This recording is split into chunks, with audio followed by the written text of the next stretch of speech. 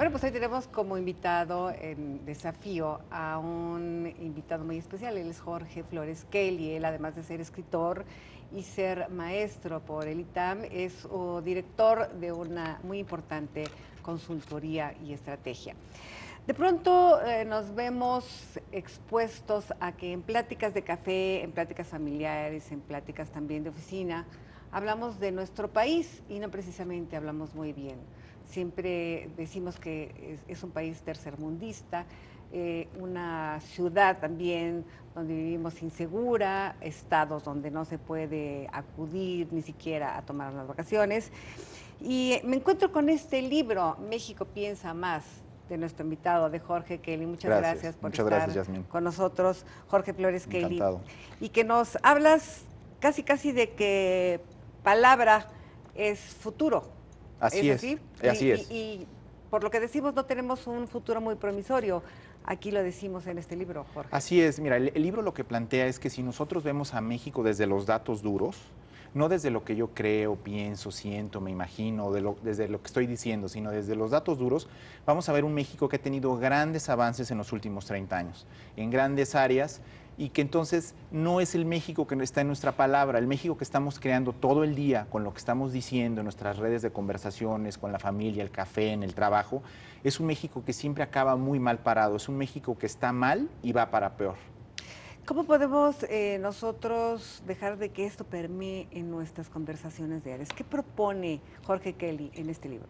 Propongo dos cosas. La primera es que nosotros distingamos que lo que nosotros decimos no es la verdad en sí mismo. O sea, tiene un componente de realidad, pero tiene otro componente que al, estar diciendo las cosas las estamos haciendo más grandes, las estamos magnificando. Entonces, si yo me enrolo en que México está mal, y empiezo con mis conversaciones a decir México está mal y está mal y está mal, entonces voy creando esa realidad. No quiere decir que así esté, pero en el momento que lo estoy repitiendo pareciera que fuera la realidad. Entonces lo que yo propongo es que cambiemos la manera de ver a México, que no veamos un México que está mal, sino que veamos un México poderoso, que veamos un México que nosotros estamos creando, que nosotros tenemos la oportunidad y el privilegio de crearlo, con lo que nosotros decimos primero, con una declaración, y después con las acciones que nosotros tomamos como ciudadanía. Maestro Flores Kili, tú tienes aquí estadísticas que publicas en este libro de que estamos en muy buen nivel eh, en este país, no solamente en, que, en deportes, en economía, en muchas cosas.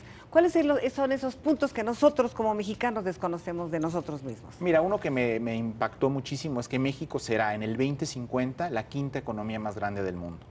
México hacia allá va, a pesar de todo lo que nosotros estamos viviendo y a pesar de lo que estamos diciendo, México será la quinta economía más grande del mundo en el 2050. También tenemos esa noción de que los mexicanos somos flojos, eh, tenemos la visión del Espíritu González, todo esto, y en realidad cuando vemos México es el país, el, que, el quinto país que más horas trabaja en la OCDE. O por ejemplo el caso del empleo, ¿no? Siempre estamos preocupados por el empleo, pero si comparamos dentro de la OCDE, donde forma parte de México, los niveles de empleo o de desempleo, México está muy bien posicionado. Es más, es uno de los países que tiene menores niveles de desempleo.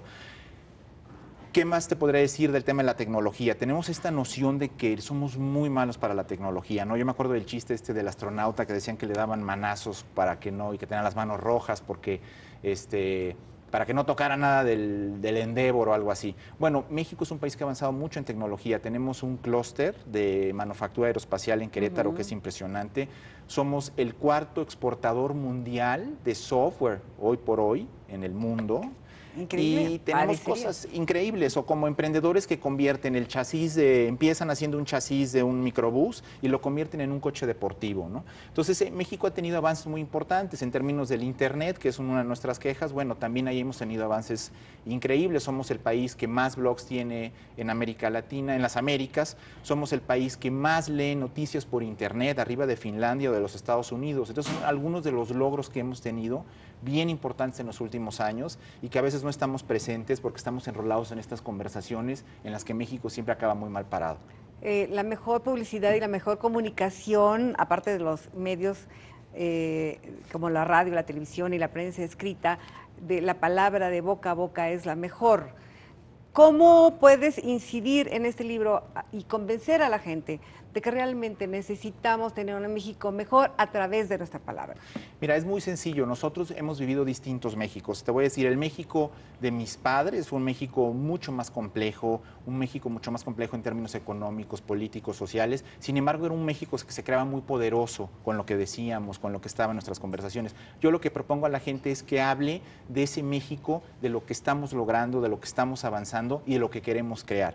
Al final, creamos el futuro con lo que decimos y el futuro que nos espera es el de ser la quinta economía más grande del mundo. Mi pregunta es, ¿cuál sería lo que yo, yo podría estar diciendo hoy si sé que voy a llegar a ser la quinta economía más grande del mundo?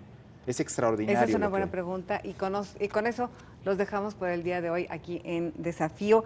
Y bueno, México piensa más, un libro constructivo para nosotros los mexicanos que queremos crecer y que somos realmente un país importante. Muchas gracias. Gracias, Yasmin.